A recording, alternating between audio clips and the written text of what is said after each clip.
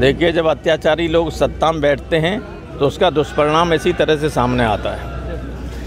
उनमें कोई संवेदनशीलता नहीं। है जो ये कह सकते हों कि ठोंक दो तो लोग मारे जाएँगे। जैसे गोरखपुर में ही अभी उन्हीं के शहर में किस तरह से एक व्यापारी की हत्या हो गई। पैसा छीनने के लिए रात में मार दिया गया। तो वो तो हृदयहीन लोग हैं जो सत्ता में बैठे हुए हैं। आठ नौ लोग मर गए हैं, किसान और पत्रकार से लेकिन क्या हुआ वास्तव में ये जानने के लिए नेता वहाँ जाना चाहते हैं, उनको जाने नहीं दिया जाना। अखिलेश चटर्जी तो जाना चाहते थे। अखिलेश को ये आक्रमण करने जा नहीं रहे थे। वो तो ये जानने के लिए जानना, जाना चाहते थे कि आखिर हुआ क्या वहाँ। क्यों किसान मारे गए? और उनके जो लोग मरे हैं, उनके परिवारीजनों से मिलकर उन्हें सांत्वना देना चाहते थे। लेकिन ये कार्य भी पूरा नहीं करने दे रहे हैं। मनमाने तरीके से गिरफ़्तार कर रहे हैं, मनमाने तरीके से रोक रहे हैं, घर को घेरे ले रहे हैं। कभी ऐसा देखा सुना? इसी सरकार में पहले भी हुआ तो अब भी हुआ है।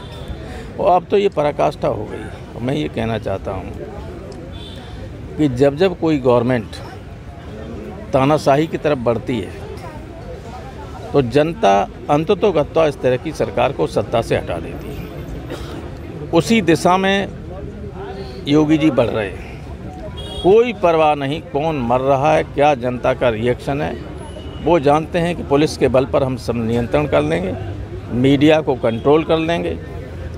क्योंकि अभी देखना शाम को ADG law and order press conference करेंगे लॉ एंड ऑर्डर तो आप देखना बिल्कुल दूसरा पक्ष बताया जाएगा और वही चलेगा आप सबके चैनलों पे अभी। सब पर नियंत्रण है, सब पर कुछ चैनलों को छोड़कर।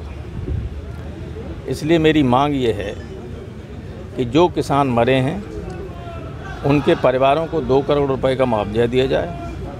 उनके परिवार में से लोगों को नौकरी दी जाए बच्चों को। और जिन लोगों ने ये हत्याएँ की हैं, उनके खिलाफ हत्या का मुकदमा कायम किया जाए।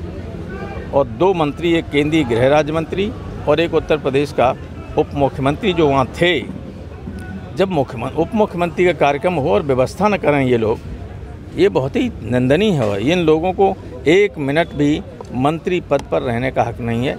इसलिए समाजवादी पार्टी की मांग है कि इन दोनों मंत्रियों को या तो वो स्वयं इस्तीफा दे दें या प्रधानमंत्री केंद्रीय गृह राज्य मंत्री को और मुख्यमंत्री उप मुख्यमंत्री को बर्खास्त करें।